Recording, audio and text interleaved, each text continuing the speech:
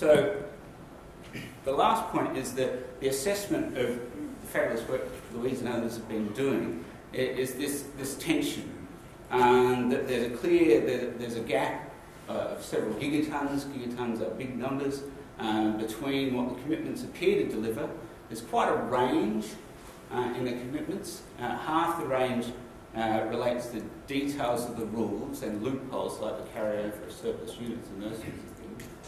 But uh, what appears to be the most significant issue in play is whether in the next few years we get agreement to a plausible long-term goal.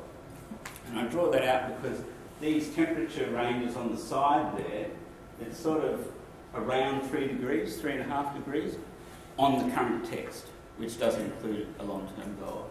If you include a long-term goal in the agreement that we hammer out in the next little while, whatever that's this year or next year, you've got you're on a 450 like trajectory. It's not probably quite 450, um, but you've got around a 50% chance of staying under two degrees, though you've got almost no chance of staying under 1.5. So if you live in the Maldives, there may be um, warm comfort, but, but the, um, the gold commitment gap could be materially closed just by that one provision. So in the paper I go to a lot of trouble to explain geopolitics. I'm sure I don't do it nearly as entertainingly or astutely as, as Louise would do it. But essentially the point is that um, the geopolitics concerns the breadth of countries' agendas that they bring to climate change. It's got things to do like, you know, the, the, how they feel about taking action given the set of actions that other countries are offering. Um, it's quite complicated um, but it deals mostly with form and not with substance. Substance only enters really through burden sharing, through, through sort of uh, what are we doing compared to others. Uh, we're on track to resolve issues of form, but there are some significant wildcards in there. Substance, I'm much more pessimistic on.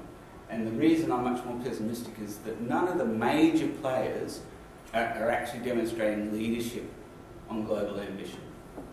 Okay, we have a situation where the EU came out early with a target range of 20 to 30. Um, if you look at the studies about burden sharing, what's reasonable, you can't find studies where that basically conclude that the EU should do the average for advanced countries. Okay? All the studies suggest that the EU should do more, and on some criteria, very substantially more than the average. And so if advanced countries are meant to be doing between 25 and 40%, the EU should be doing considerably more than 30%. And so there are some real issues about um, whether leadership is being uh, demonstrated. And there are genuine issues uh, where you've probably got an early mover penalty in the negotiation dynamics and not an early mover incentive. So it's very hard to see how that will be resolved. So I'll just skip over that.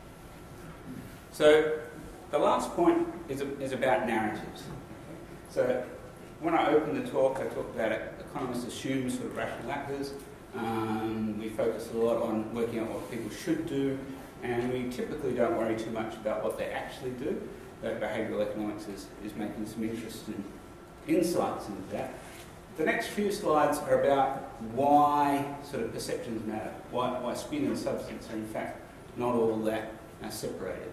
So the narratives, the way people talk about uh, global action in, in the negotiations, uh, ha- has three main themes that we need sort of regulations or government action to drive pollution reductions. Uh, other countries will emphasise uh, inequalities in per capita emissions and there's a baggage about historical responsibility. And it's now there's a strong theme uh, that promoting sustainable development is integral to climate change. You can't have sustainable development without action on climate change but nobody objects to sustainable development because nobody knows what it means, and so that doesn't matter very much. So that sort of discourse is very attractive to people who are sort of uh, oriented towards communitarian values or egalitarian worldviews. They think governments are effective in acting for some reason. I'm not sure why. Um, and they, they're quite comfortable with a degree of sort of activist redistribution. The same narrative alienates people who have individualist worldviews, they're not convinced that governments are effective actors, um, they think that redistribution is in fact inequitable. It's taking away hard-earned, you know, whatever it is, and giving it to people that have just sat around and not done anything. Um, and they often feel that, you know, the whole issue of climate change sort of offends sort of Adam Smith's notion of the invisible hand and that, that all things work for fine. Um, and so we have some work to do. Now, this matters because it plays into domestic politics. You know, it's obvious uh, in the in the US, self-evident there, as, as Louise has been talking. Uh, but I point out that it also narrows the base for, for the EU to move from 20 to 30 percent, which is integral to sort of the, the two-degree assessment that I offered before. Um, uh, and the EU has no clear process at the moment for moving from one target to the other. Um, and it also reinforce, re, risk reinforcing to developing countries that you know climate change is all about suffering now, negotiations are all about suffering now in the hope of you know something better in the future. Um, but they, it's often presented as a trade-off or at least a threat uh, to income growth and development and, and poverty reduction. The last thing is that underlying these sort of uh, political responses or the flim flam is, you know, quite deep set psychology about confirmatory bias and, and protective cognition. So protective cognition is basically that people like being happy. Um, if you tell them things that make them unhappy, they'll ignore them. It's a very good way of staying happy. Just ignore the evidence till it's too late. Um, it may not be rational in some long-term sense, um, but it happens, and so that's the, the evidence. So this first slide is, is studies on uh, you identify people's worldviews, then you ask them, you know, is climate change a big threat or is it a big risk? Uh, and you get these clear correlations. The first one is egalitarian versus hierarchical, um, and the second one is communitarian versus uh, individualistic. So this is asking them about their sort of objective view of the facts. You know, is climate change a risk to our country or to you? And worldview shapes how they assess that evidence. You see this, this is um, a work Mark Morrison and I did a while ago that, that's just come out. Uh, we did a survey where we asked people at the beginning of the survey, you know, what do you think would happen if we make deep cuts in emissions in our country? Uh, about 20% of people in the US said that incomes would fall. It's completely inconceivable. It's nothing to do with the modelling. 25% in Australia. And when you track that through, those responses, people who think incomes would fall versus people who think uh, action on emissions would slow the increase in income, which is what the economic modelling says, is highly correlated with their confidence in the science, their acceptance of the science, and their support for action on, on, on emissions reductions. And so that, that question seems to be picking up similar sorts of worldview issues here. So, you know, if you're all convinced, what does this imply for how we need to go about things? Well, the first is that we need a bigger set of narratives.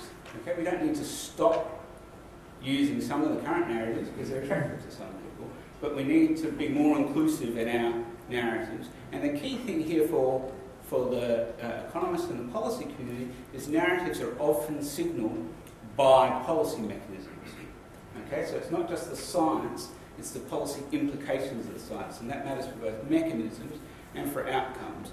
So at the moment we have these sorts of narratives which are appealing to the communitarians, and we have very few of the, the other narratives.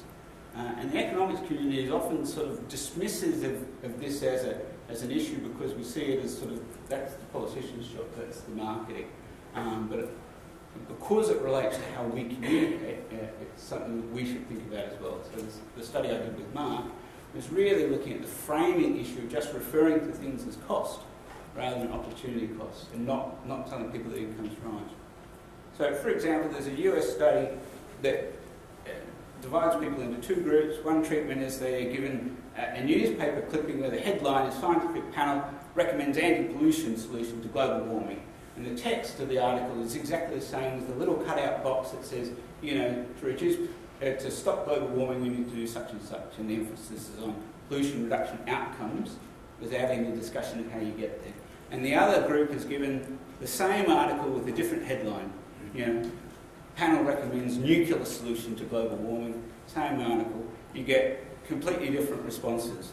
Uh, and so for uh, people who are hierarchically or communitarian uh, in their outlook, they are more likely to accept the science of climate change if they think the implications are you have to reduce pollution. Because that appeals to the notion that, you know, we really do need government intervention to get things right. You can't leave the market to itself. Whereas the individualists and the egalitarians, um, they are more likely to accept the science of climate change if you tell them it implies we need to do nuclear. Because they think, you know, technology, and innovation, and human, you know, control and subjugation of nature um, is, is how you get to progress. So you get the same sort of thing. These are standard views uh, of modelling uh, output. The, the, the, one on, I keep forgetting the side, the right, is, is very unusual in modelling reports. You know, first emphasises opportunity cost, second one says there's an opportunity cost, but it's the nature of a foregone gain, income increases less.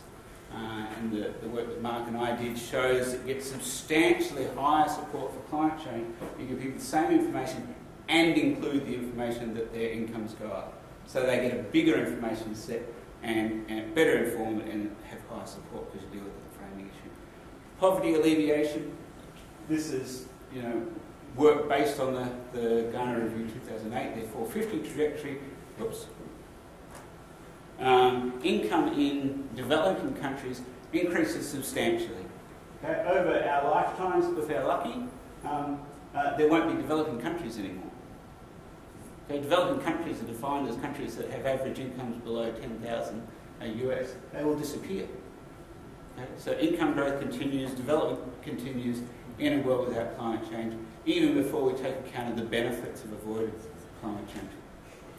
Uh, so what do we do? Uh, we need to bring forward uh, action on, on global carbon markets. Um, it's crucial, the last point is a substantive point that often economists think about markets as a way of lowering the cost of achieving an outcome. In climate change, markets are fundamental to achieving the outcome.